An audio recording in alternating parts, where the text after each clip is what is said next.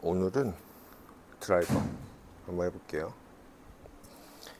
드라이버 칠 때 보통 둘 중에 하나죠. 슬라이스가 많이 나거나 왼쪽으로 이렇게 감겨서 훅이 많이 나거나 첫 번째로 훅이 많이 나는 경우부터 한번 설명을 해드릴게요. 훅이 많이 나는 경우는 백스윙 올라갔다가 다운스윙 내려가면서 헤드가 던져지는 방향이 인에서 공방향 아웃으로 인에서 이 방향으로 던져지는 가속도 헤드 무게로 공을 맞아야 되는데 이미 몸이 열려서 힘 방향이 이렇게 던져지는 게 아니라 아웃에서 인으로 이 방향으로 왼방, 왼쪽 방향 아웃에서 인 방향으로 던져지기 때문에 풀려서 헤드 무게가 풀려서 그렇게 맞는 이유가 있습니다.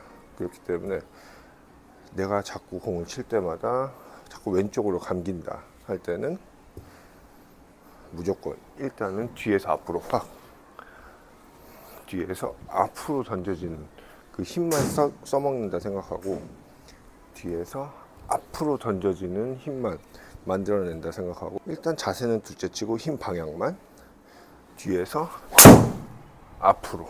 그러면 여기서 중요한 게 뒤에서 앞으로 던질 때 기존의 습관 자체가 하체라던가 몸통 회전을 많이 사용하려고 그리고 몸통 회전하는 느낌을 살리려고 하는 분들이 제일 많이 나오는 실수거든요.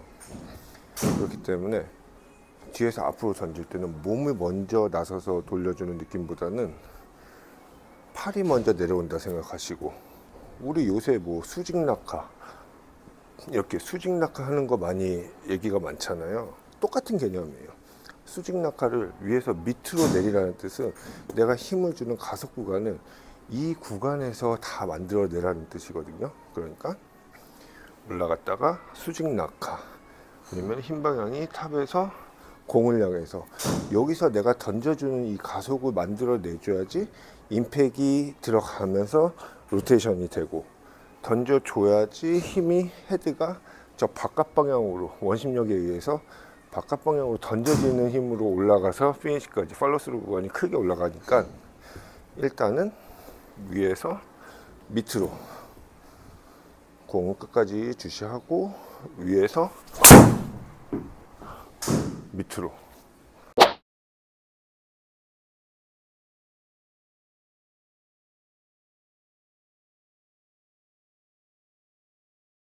탑에서 밑으로 던진다고 할 때 항상 신경 써야 될 게 채를 들고 있는 팔이 내려가면서 헤드가 앞방향으로 던져줘야지 팔은 그대로 고정이 된 상태에서 몸이 돌면서 이렇게 가면 결국 또 땡겨치게 돼요.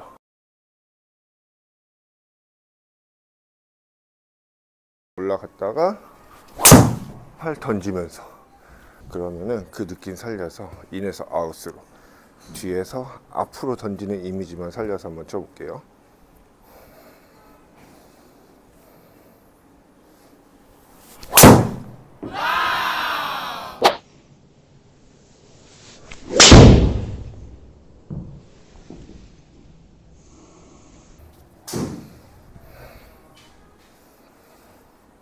감사합니다